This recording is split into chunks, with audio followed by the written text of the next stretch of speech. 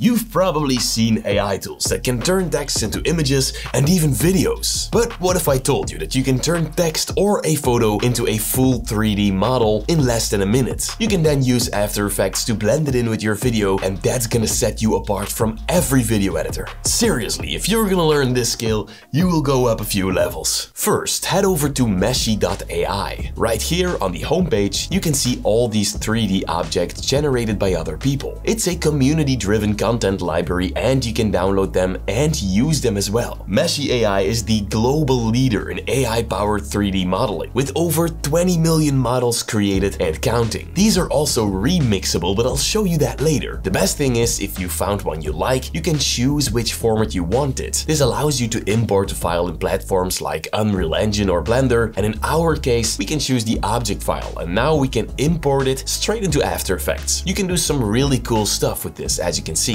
as long as you have After Effects, but we'll come back to this. First I want to show you the true power of Meshy AI. You can generate your own 3D models. To do that, we're gonna choose text to 3D. As you can see, you can also choose image to 3D, AI texturing, and even text to image. Now once we're in the generator, you will see the prompting box right here. This is where you can describe what you want. Let's try and generate a robot dog, typing a realistic tactical robot dog, matte metal finish, armored plating, visible hydraulics, infrared cameras for eyes, rugged and utilitarian design used for military or rescue missions. I came up with that prompt entirely myself. There you go. You can now choose an AI model and a usage license. Then click on generate and let it do its thing. This thing is the fastest 3D model generator you'll find. And there you go. Meshy just gave you four awesome AI generated 3D models and you can choose which one you like most. I think I love the first one. So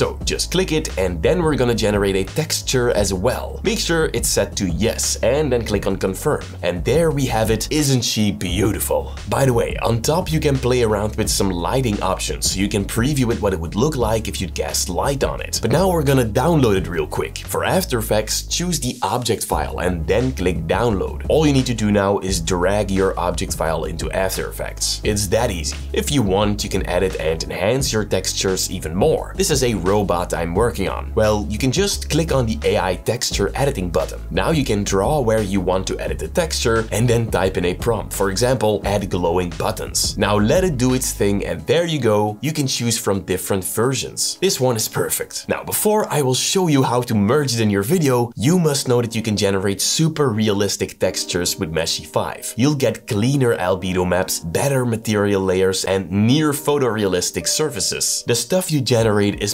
production ready, ideal for creatures, rocks, or statues. Meshy 5 delivers rich geometry and natural forms that most tools struggle with. Alright, now let me show you how to use one of Meshy's 3D objects in After Effects. First, select your clip to camera track it, then go to the tracker panel and click on track camera. In a few seconds, these tracking points will appear. Find one on your tracking surface, right click and choose create solid and camera. That way you can check if the solid is perfectly tracked to your video. Next, drag the robot dog from Meshy AI to the timeline and expand the properties of your track solid. Then go to transform and copy the position property. Now head over to the robot dog and paste the position data on the position property of the 3D object. Now the 3D object will stick to your surface too. And now it's time to create some shadows. To do that, expand the track solid material options. And here, click on accept shadows and set it to only. That way it won't show the solid, but it will show the shadows. For the shadows to show, we need some light. So right click in the timeline, go to new and then click light. Make sure it's set to environment light and make sure cast shadows is enabled. Then click on OK. Play around with the X and Y rotation properties to match the shadow direction of your video. Then play around with the intensity and shadow darkness. If you want, you can even add a tint to your shadow to match it even more. And there you go. You now have a real robot dog in your videos. Now let's get back to Meshy because I found this beautiful mushroom house and I want to know what prompt he used. To find out, you can click on the remix button and there you go. You can now adjust the prompt or add something you like. For example, a cute chimney. Then click on generate again and voila, that looks beautiful. Let me give it a texture and oh my, look at that how beautiful. It's ready to use however you want. By the way, Meshy AI also has an advanced rigging system built in. That way you can animate 3D models with a functional skeleton system and you can choose from so many different animations. It's awesome and optimized for game engines like Unreal and Unity. Try out Meshy AI below, the best AI 3D model generator to turn text or images into import-ready 3D assets to make your videos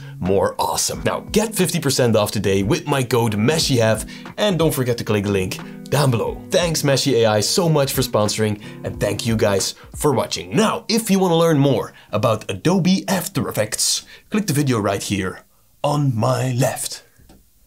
Goodbye.